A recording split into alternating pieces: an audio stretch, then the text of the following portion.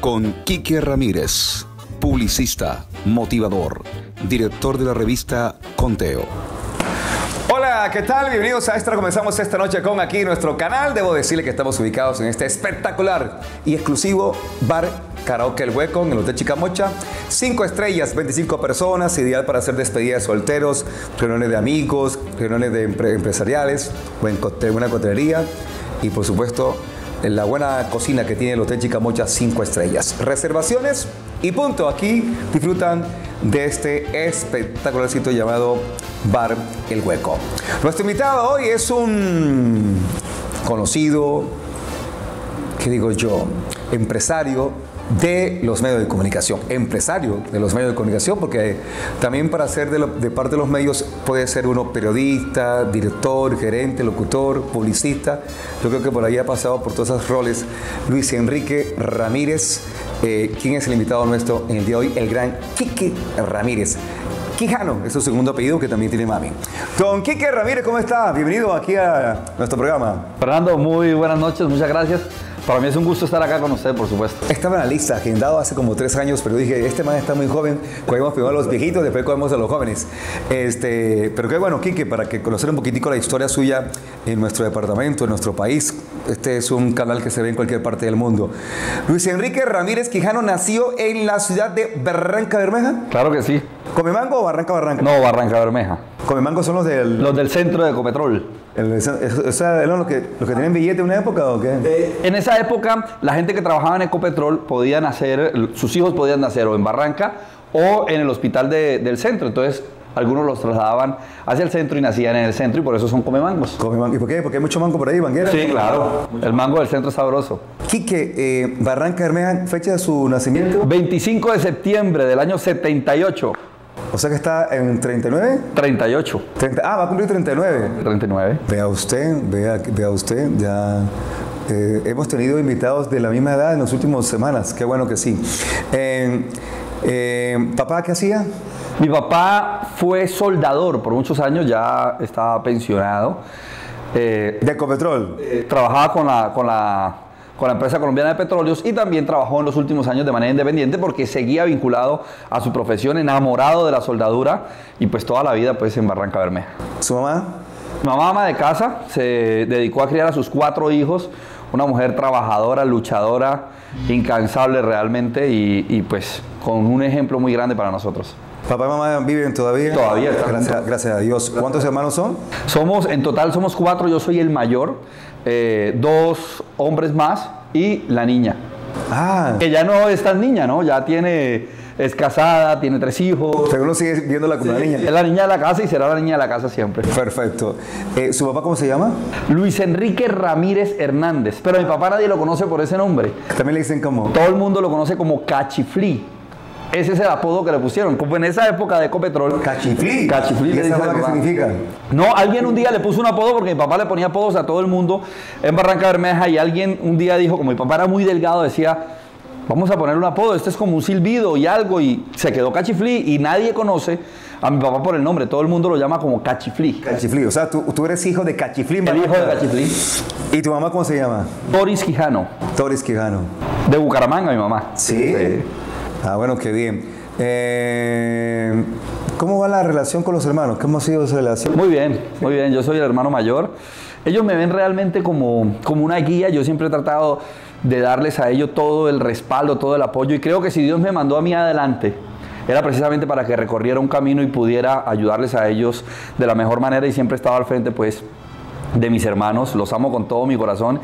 Y precisamente estos días hablaba de algo con mis hijos y les decía que yo puedo cometer muchos errores como padre, pero siempre he querido enseñarles a ellos lo que es ser un buen hermano.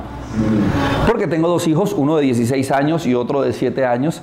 Yo le digo a Santiago, que es el mayor, siempre he querido enseñarle a usted que tiene que respaldar, estar en la buena y en la mala con su hermano Samuel, que es el menor, que tiene 7 añitos. Mm, eso es bueno, eso es bueno porque eso hace que, que siempre esté de pronto ahí como también la, el afecto y la, y la hermandad es, es clave para, también para uno sobre- surgir en la vida.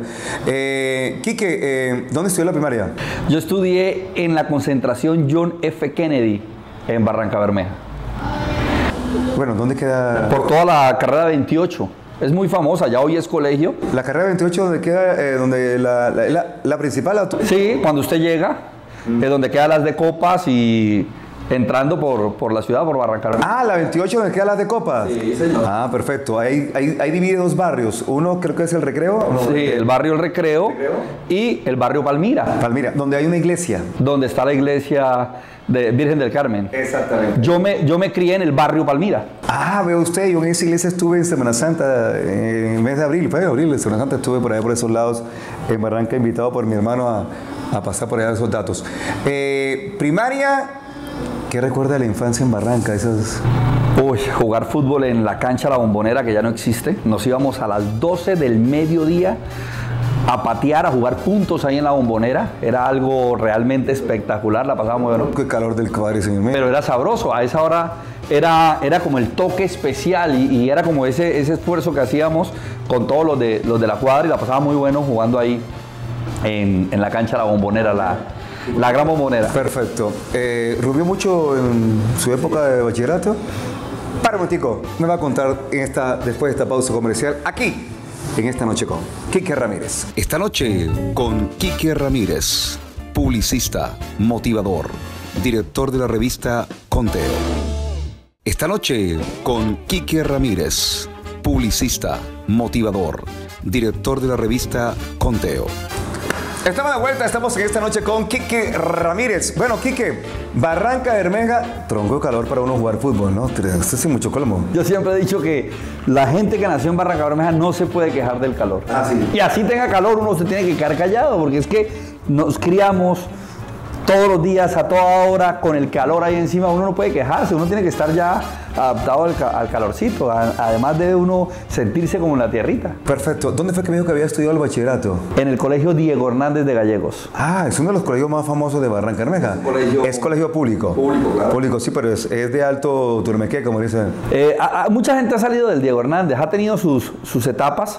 Nosotros estuvimos en una etapa muy bonita, eh, con muchos amigos y una experiencia extraordinaria. Hace poco precisamente me, reuní con una ex profesora del colegio y compartimos momentos muy bacanos en esa época. Fui personero del colegio, líder desde, desde mi época de bachiller y, y- y siempre estuvimos ahí haciendo un trabajo bien interesante con, con los estudiantes. De joven en Barranca Bermeja, que se presta, ¿no? El calor, la rumba, la cosa aquella, el vallenato, la salsa. No, allá es tropical, es De tropical. todo, de todo, absoluta. Allá se escucha mucha salsa. Total. El vallenato, por supuesto, tiene mucha, mucha fuerza, pero, la salsa es sabrosa porque la, la cultura petrolera hizo que mucha gente llegara a Barranca Bermeja, mucha gente de la costa, mucho barranquillero, mucha gente de- del interior, y allá se escucha de todo, pero la salsa y el vallenato son fuertes. Ok, rumberísimo en época de joven. Eh, por el tema de los medios de comunicación, siempre estuve vinculado a la radio, entonces hacíamos eventos en las, en las discotecas. Sí rumbeaba mucho, pero bebía poco. Entonces llegábamos a las 4 o 5 de la mañana después de hacer un evento, animaba en las discotecas, eh, tenía muchos amigos, hacíamos eventos con la, con la emisora Yariguíes Estéreo, y, pero más bien poco trago en eso. Po- poco de trago. Cigarrillo. Fumé, tuve una época donde fumé, pero fue más acá en Bucaramanga cuando entré a Tropicana. Poco de, las otras cosas raras. No, cero, nunca. Nunca, y es que, a ver, les cuento una historia que, que- que para mí es, es un ejemplo para la gente. Mi papá sufrió de trombosis medio cuerpo por una sobredosis. Él trabajaba como soldador, como yo le contaba, y en esa época, pues, para ellos era normal.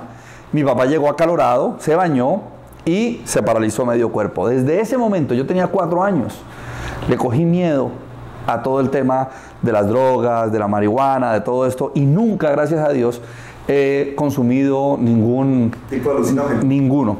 Y, y siempre he dicho que le doy gracias a Dios por ese héroe, por mi papá, porque él cometió los errores que yo tenía que cometer precisamente para, para cuidarme y para no caer nunca en este tema de las adicciones. A propósito, hace poquito en el Día del Padre escuché, o vi, perdón, una estampa que decía, eh, el papá le decía al hijo, ten cuidado por donde caminas. Y el chico le respondía, no, ten cuidado tú, porque yo sigo tus pasos. Esa es una. Pero, pero Fer, yo, yo no estoy de acuerdo con eso. Y ahora en, en- en ese tema de, de que uno como padre tiene que ser ejemplo para los hijos, porque nos podemos frustrar. Mi papá, si nos ponemos a analizar, en muchos factores mi papá se equivocó. Pero para mí eso fue el ejemplo de lo que no debo hacer. Eso está en cada uno de nosotros. Yo no tengo la autoridad de decir a mi papá, pero usted qué me va a decir si usted llegaba borracho a la casa, o usted qué me va a decir si usted fuma.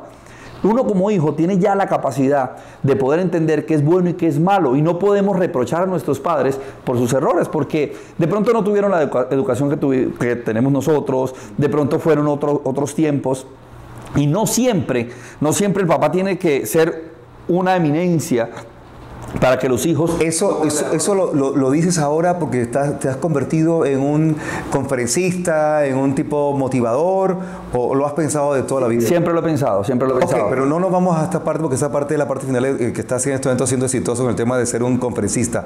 Vamos a la parte de radio. ¿Cuándo eh, iniciaste en Yariguis Estéreo, que fue tu primera emisora? No, no, yo empecé en La Voz del Petróleo. Ah. Eh, para la época de los Juegos Deportivos Nacionales, año 96. ¿Pero usted deportivo o vos comercial? Yo, yo empecé haciendo las veces de reportero. Un 16 de junio estaba un amigo, Rodrigo Escobar Jr., estaban en los juegos deportivos, yo iba en la moto de una tía, me dijo, ¿qué está haciendo, Quique? Yo, nada, acompáñeme. Y empecé a dar vueltas por la zona deportiva de, de Barranca Bermeja. Para cortar un poco la historia, a las 5 de la tarde terminé dando yo la tabla de medallería y desde ahí me enganché en los medios de comunicación, amo la radio, me apasiona y me encanta. Al final pues hice todo eh, los juegos deportivos, llevando información, yendo a la, jefatura de, prensa de los juegos, dando la tabla de medallería y gracias a Dios pude engancharme en La Voz del Petróleo y luego pasé a Yarigués. ¿Y Yarigués fue DJ? O sea, sí, fui locutor de, locutor de, de, música, sí. DJ de radio eh, juvenil. Cuando tú estabas en Yarigués, yo estaba en Tropicana. Sí, sí. Sí, luego yo llegué a Tropicana, este, yo llegué a Bucaramanga a la U Estéreo. Duré dos meses trabajando en la U Estéreo y por cosas de la vida me tocaba el turno de 12 de la noche a 6 de la mañana. Pero cuando las cosas son para uno, Julio César Galvis, que era el director de Tropicana, me escuchó a esa hora, me llamó. Llegué porque para esa época Willy Santa María pasó a Olímpica Estéreo y necesitaban un DJ juvenil para Tropicana y logré enganchar en Tropicana Estéreo de Caracol. Perfecto, esa es la vida de radio de Quique Ramírez. Vamos a esta pausa comercial y hablaremos de otros temas, de otros roles que ha cumplido en vida el joven Quique Ramírez y por supuesto le está yendo muy bien. Esta noche con Quique Ramírez, publicista, motivador, director de la revista Conteo. Esta noche con Quique Ramírez, publicista, motivador director de la revista Conteo. Estamos de vuelta, estamos en este exclusivo bar Karaoke El Hueco con Quique Ramírez, esta noche con Quique Ramírez. Luis Enrique Ramírez Quijano, no se me va a olvidar nunca el segundo apellido. Me acuerdo de una, de una niña Quijano aquí en Bucaramanga. Este joven eh, Quique llega a Tropicana Estéreo, lo invita a Julio César Galvis y que continúa en su vida de trabajo, pues aquí. Bueno, cuando, cuando uno hace parte de, Tropicana, hace parte de Caracol, entonces hice deporte, siempre me ha gustado el tema deportivo. Estuve en juegos deportivos, en Campeonato Mundial de Patinaje, eventos y cubrimientos, por ejemplo, del Atlético Bucaramanga. Y también trabajé con Julio César cuando pasó a ser director de La Vallenata. Estuve en la emisora La Vallenata. Trabajé con Carlos Quiroga en Bésame Radio Apasionada. Y pues aprendí muchísimo de todos los géneros musicales porque siempre me gustó el tema de la radio. Hice algunos informes a nivel nacional para, para la cadena básica de Caracol. Siempre estuve vinculado a Caracol Radio. Es algo, algo irónico, pero nunca trabajé en RCN y hoy tengo una relación espectacular con esta compañía que, me apoya pues ahora con el tema de las conferencias, con lo que estamos haciendo de los seminarios y ha habido una amistad muy bacana con, don Fernando Ardila. Qué bueno, qué bueno. Eh, ¿Cuándo se convierte y cuándo monta su empresa que es la que eh, también ha tenido un gran reconocimiento en los últimos años. Bueno, la empresa se llama Auditiva y hacemos producción de audio publicitario, además asesoramos pues en, el tema de comunicación estratégica. Trabajando en Caracol, empecé a ver la necesidad de crear cuñas diferentes a las que se hacían en Caracol porque eh, eh, el estudio de grabación de Caracol era muy limitado. Entonces empezamos a, crear nuevas cuñas, jingles, música, sonido, sonido, música comercial y desde ahí empecé. Con el tiempo, la compañía facturaba más de lo que yo ganaba en Caracol, pero no me alcanzaba el tiempo. Entonces llegué y me senté con el gerente de la época, que era Carlos Sánchez, y le dije, gerente, no puedo seguir trabajando. Me dijo, me dijo, ¿por qué? Yo le dije, pues porque no me alcanza. Me dijo, le doblo el sueldo. Yo le dije, no, si me lo triplica me quedo. Me dijo, no, no me alcanza aquí, que yo le dije, gerente, muchas gracias, pero creo que llegó el momento de hacerme a un lado. Eh, más de 10 años con Caracol. Y se dedica a auditiva. Y me dedico 100% a la empresa y hasta hoy pues ha sido todo un éxito, la verdad ha sido muy bonito. Para un momentico, eh, casado, soltero, no, yo sé que es casado, pero eh, casado hace cuántos años? Hace 16 años. Eh, ¿Cuántos hijos? Dos hijos. Ah, ya, ya hablo de Santiago y... Santiago y Samuel. Eh, ¿Dónde conoció a su señora? A mi esposa la conocí en la casa de un amigo DJ de la época, él, ella era o es prima de, de este amigo DJ y ahí nos conocimos empezamos a ir al tema de la radio, el tema de la música, nos hicimos muy amigos y finalmente pues me lanzo y le digo que si quiere ser mi novia. Eh, nos enamoramos y hoy amo a, a, Rosy con todo mi corazón. Además que, además de amarla, hemos sido muy, muy, muy buenos socios. Ella es creativa, cantante, locutora, compone, ha grabado a nivel nacional y a nivel internacional para grandes marcas. Entonces hemos hecho una muy buena relación con Sandrita, que la amo con todo el corazón y que ha sido pues pieza fundamental en el crecimiento mío. Esta mujer me cambió la vida y, y siempre lo digo. Todos los días he tratado de ser digno de esa mujer que Dios me regaló. Oye, qué bonito, qué chévere, cómo habla aquí de, su esposa. Eso es bueno, vea, que, la gente, que aquí mucha gente se confiesa en este sillón, se confiesan mucho, muchos amigos, y eso es lo rico del tema. Quique, ¿dónde nace esta incursión que estás haciendo últimamente con el tema de ser un conferencista, de ser un motivador, de hablar de cosas bacanas, porque eso, eso digamos que eso, ese crecimiento espiritual ha logrado que, que llegues a, lo que, lo que ha logrado. Fernando, el tema del liderazgo siempre ha estado en mi corazón. Yo me acuerdo que cuando estaba en el colegio yo decía, yo quiero ser ejemplo para la juventud, quiero ser un inspirador para los jóvenes. Y toda la vida lo quise hacer, conocí eh, a Cristo, le di la oportunidad a Jesús que entrara a mi corazón y empecé a incursionar en el tema de la iglesia, a recibir muchas, muchas enseñanzas, pero siempre he creído que mi llamado no es llevar a la gente a la iglesia, sino llevarle a la iglesia a la gente. ¿Y qué es llevarle a la iglesia a la gente? Llevarle a Cristo. Amor, comprensión, tolerancia, unidad, positivismo, inspiración. Y eso es lo que hago a través de las conferencias. Porque la gente necesita soñar, la gente necesita encontrar un propósito y la gente debe entender que su destino todavía no está escrito y que cada uno puede ser el creador de ese destino un mensaje de todo lo que has aprendido en los últimos años, que de pronto que la gente que está viendo esto dentro del programa, que diga, vea, el que más te cala y que uno debe poner en práctica casi que inmediatamente. Al segundo, Kike dijo esto en este programa y voy a ponerlo en práctica a partir de este momento. Todos los sueños se pueden hacer realidad, todos, todos, absolutamente todos. Lo que pasa es que tenemos que saber en qué tiempo estamos. Quique, pero es que yo tengo 40 años y no pude hacer realidad mi sueño de ser jugador de fútbol profesional, pero de pronto lo puede vivir a través de su hijo. Mi hermano jugó fútbol profesional y yo fui jugador de fútbol profesional con él. Cada minuto, cada jugada, cada momento lo viví con él. Entonces todos los sueños se pueden hacer realidad. Tenemos que luchar por ellos y tenemos que construirlos. Cuando entendemos eso, no nos rendimos. Cuando entendemos que todos los sueños se pueden hacer realidad, nos levantamos todos los días dispuestos a luchar por ellos. Y con ganas. Eso está muy bien. Pausa y iremos al remate con Quique Ramírez aquí en Esta Noche con. Esta noche con Quique Ramírez, publicista, motivador, director de la revista Conteo. Esta noche con Quique Ramírez, publicista, motivador, director de la revista Conteo. Ok, llegamos a la parte final de este programa con Quique Ramírez. Quique, usted como está de motivador, de, de, conferencista, que creo que es uno de, los roles que más le gusta hacer, ya vivió su época de radio y, ya, vive también su época de publicista.